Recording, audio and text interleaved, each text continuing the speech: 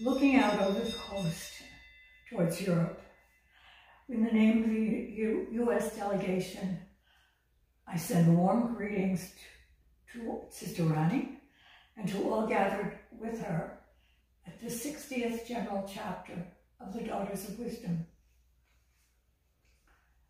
Our thanks for the opportunity to include all of us in this turning point of the life of our wisdom family.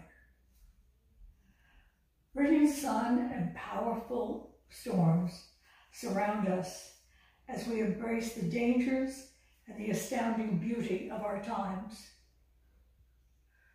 We surrender all to the transforming love of wisdom and join with your efforts to embrace our ex expanding internationality and call to mission in this 21st century.